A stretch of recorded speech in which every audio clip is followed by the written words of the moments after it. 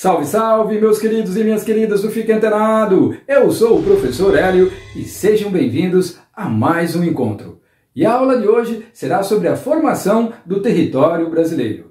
Em outras palavras, vocês estarão aprendendo como é que o Brasil saiu do seu delineamento inicial, conforme esse traçado que está sendo mostrado aí na sua tela, até chegar nos seus contornos atuais, conforme o mapa a seguir.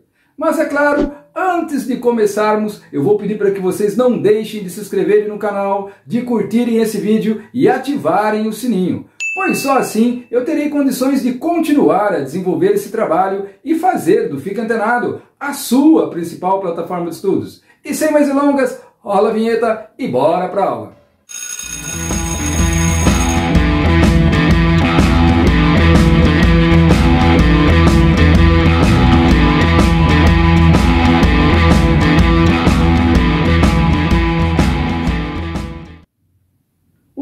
Atuais limites, assim como a extensão territorial do Brasil, é o resultado de um processo histórico que se iniciou com a chegada dos portugueses lá atrás no ano de 1500 e que a partir daí procuraram fazer do Brasil uma colônia de exploração para Portugal. E para isso, eles passaram a ocupar os territórios que pertenciam aos indígenas, que naquela época correspondiam a 3 milhões de nativos distribuídos por mais de mil povos diferentes. Mas, embora a chegada dos portugueses em 1500 tenha sido fundamental para a atual formação territorial do Brasil, os limites do território brasileiro começaram a ser definidos seis anos antes, em 1494, através de um tratado que foi assinado por portugueses e espanhóis, que ficou conhecido como Tratado de Tordesilhas. E vamos ver o porquê e como foi que isso aconteceu. Após a descoberta da América em 1492 por Cristóvão Colombo, que estava a serviço da coroa espanhola, Portugal e Espanha passaram a se desentender por conta das terras recém-descobertas pelos espanhóis pois ambos consideravam-se donos dessas terras. Para que esse desentendimento não chegasse a uma guerra entre essas duas nações europeias, o Papa Alexandre VI foi convocado para negociar os limites de exploração colonial entre essas duas nações ibéricas, e para isso foi elaborado o Tratado de Tordesilhas. Por esse tratado, ficou definido que a partir da ilha de Cabo Verde, na África, seria traçado um paralelo que se estenderia por 370 léguas, o equivalente a um pouco mais de 1.500 quilômetros. A partir disso, todas as terras já descobertas ou que viessem a ser conquistadas que estivessem até essas 370 léguas deveriam pertencer a Portugal enquanto que as terras que estivessem além dessa marca, ou seja, que estivessem a oeste dessas 370 léguas, pertenceriam à Espanha. Portanto, com a chegada de Pedro Álvares Cabral na região onde hoje fica Porto Seguro, na Bahia, Portugal apenas estava confirmando a existência e o direito de terras ao sul da América. Nascia aí o Brasil. A partir dessa descoberta, a coroa portuguesa buscou garantir o poder sobre o território brasileiro e protegê-lo de outros conquistadores, como os franceses, os holandeses e até mesmo dos espanhóis. E como a palavra território está aparecendo nessa videoaula com frequência, é importante lembrar que, para a geografia, a definição de território está relacionada a qualquer espaço definido e delimitado por e a partir de relações de poder. No entanto, para que esse plano de garantir o poder sobre o território brasileiro pudesse ser concretizado, era preciso vir até aqui, ocupar, tomar posse, ou seja, colonizar o Brasil. Dessa forma, o território brasileiro foi dividido em 15 capitanias hereditárias, que eram grandes extensões de terras delimitadas a partir do litoral, e que foram doadas pelo rei de Portugal para 12 donatários, conforme o mapa que está aí na sua tela. A maioria desses donatários pertenciam a classes abastadas, ligados à coroa portuguesa ou funcionários de confiança do rei. A capitania era considerada hereditária porque os donatários podiam passar a seus herdeiros o controle sobre suas terras. O território brasileiro, inicialmente ocupado pelos portugueses, expandiu-se significativamente, ou seja, ele cresceu. E vários fatores contribuem para explicar tanto a ocupação assim como a expansão do território desde o século XVI até os dias atuais. Entre esses fatores se destacam a atuação dos bandeirantes, o papel dos jesuítas e, principalmente, anotem aí, a exploração econômica do território. A exploração econômica do território no século XVI. A exploração econômica das terras brasileiras iniciou-se na década de 1530 e ela teve grande importância para a ocupação realizada pelos colonizadores. Nas primeiras décadas de colonização, não foram encontrados os metais preciosos como o ouro e a prata.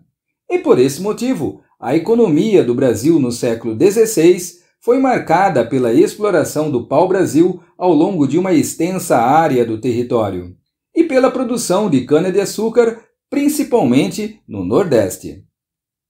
Embora o Tratado de Tordesilhas desse direito aos portugueses à exploração de terras até as 370 léguas da ilha de Cabo Verde, no século XVI a ocupação ficou concentrada no litoral. Vale lembrar que esse foi o período em que a Mata Atlântica começou a ser devastada. Os bandeirantes e os jesuítas também contribuíram para que os portugueses saíssem da faixa litorânea para se aventurarem nas terras desconhecidas do interior da colônia. Os bandeirantes e os jesuítas. Os bandeirantes formavam grupos que partiam de São Paulo em direção ao interior do território com o objetivo de capturar índios para o trabalho escravo nas lavouras de cana-de-açúcar do litoral. Assim, eles dominaram os povos indígenas e abriram caminhos para o interior, consolidando o controle da coroa portuguesa sobre o Brasil. Os jesuítas também tiveram um papel importante para a soberania portuguesa sobre o território brasileiro, pois fundaram aldeamentos que se transformaram em povoados e contribuíram para a dominação dos indígenas por meio da catequização. A exploração econômica do território no século XVII. A partir do século XVII, a expansão do povoamento continuou acompanhando a produção de cana-de-açúcar em áreas do Sudeste. A pecuária levou o povoamento em direção ao interior do território, e a busca pelas drogas do sertão, como guaraná, urucum, cravo, canela, entre outras, possibilitou o início da ocupação da Amazônia pelos portugueses.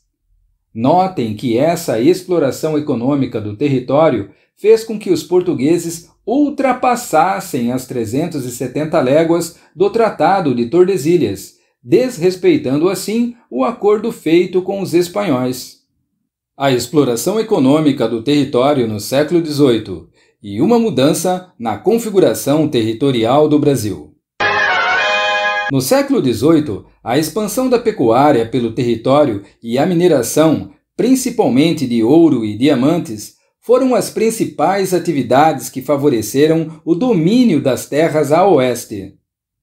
Mas o desrespeito dos portugueses pelas 370 léguas do Tratado de Tordesilhas fez com que Portugal e Espanha voltassem a se desentender. E mais uma vez para que um conflito de maiores proporções não ocorresse entre essas duas nações ibéricas, Portugal e Espanha assinaram em 1750 o Tratado de Madrid. Por esse novo tratado, houve uma brusca alteração na configuração do território brasileiro que se estendeu para além das 370 léguas do Tratado de Tordesilhas, seguindo desta vez contornos que se pautaram nos limites de alguns recursos naturais, como rios e montanhas, bem diferente do traçado linear anterior, deixando o Brasil com suas fronteiras semelhantes às que estão em vigor nos dias atuais. A justificativa da coroa portuguesa aos espanhóis para estenderem o seu território baseou-se em um princípio de direito internacional, conhecido como Utiposidetes, que defende a ideia que os que de fato ocupam um território são os que devem possuir o direito sobre ele. A exploração econômica do território no século XIX. O século XIX foi marcado por muitas transformações políticas no Brasil, que em 1815 deixou de ser colônia de Portugal e no ano de 1822 tornou-se independente do país europeu. Mas a exploração do território continuou com um conjunto de atividades econômicas importantes, como a produção de café no Rio de Janeiro e São Paulo e de cacau no sul da Bahia, que fortaleceram ainda mais o povoamento das terras brasileiras. No final do século XIX, as atenções novamente voltaram-se para a Amazônia, com um forte avanço da ocupação naquela região devido à exploração do látex para a produção da borracha, que teve o seu auge entre os anos de 1879 e 1912. Os acordos diplomáticos. Além das atividades econômicas, os acordos diplomáticos também contribuíram para a formação do território brasileiro atual.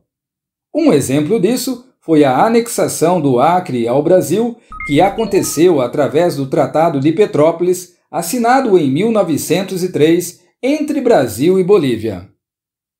Dessa forma, no início do século XX, foram consolidadas as atuais fronteiras do território brasileiro.